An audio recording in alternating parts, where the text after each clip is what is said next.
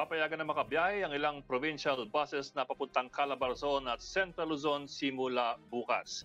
Pero may requirements na kailangang dalhin bago pasakayin sa mga bus. Nagbabalita si Gerard de la Peña. Inaasahang dadami palalo ang mga pasahero sa Paranaque Integrated Terminal Exchange o PTEX. Simula kasi bukas, papayagan na makabiyahe ang ilang provincial bus. Sa PTEX ang terminal ng mga bus na galing at papuntang Batangas, Cavite at Laguna. Habang sa Araneta City Bus Terminal naman ang mga bus na pa San Fernando, Pampanga. Nagdagdag na raw ng tauhan ang pamunuan ng PTEX bilang paghahanda sa muling pagdami ng pasahero. Ngayong nakakwarantin ng Metro Manila, umaabot sa 40,000 kada araw ang bilang ng mga pasahero sa PTEX. Malayo pa sa capacity nito na 120,000 kada araw. Ito yung isang welcome problem. Ano? Masaya naman tayo at nabunumbalik na unti-unti yung sigla ng land transportation. Ang ah, ating terminal naman ay handa sa mas marami pang crowd.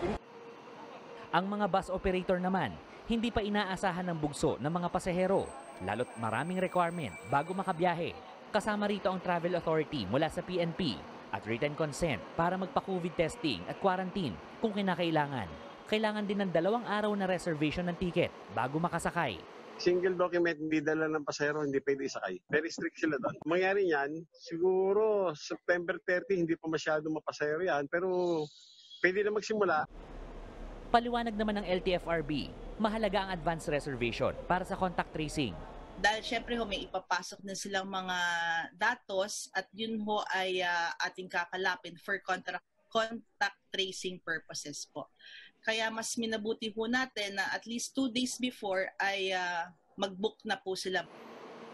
Simula naman sa Webes, obligado na ang lahat ng pasahero na sumasakay sa EDSA Carousel o yung rutang dumadaan sa EDSA na gumamit na ng beep card.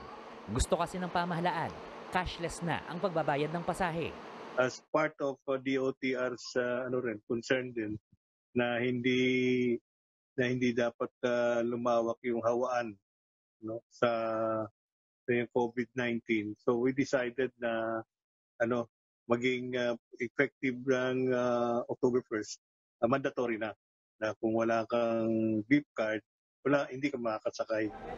150 pesos ang halaga ng bagong beep card, kung saan 50 pesos ang card at 100 naman ang load na magagamit. Para sa 1PH, Gerard de la Peña, News 5.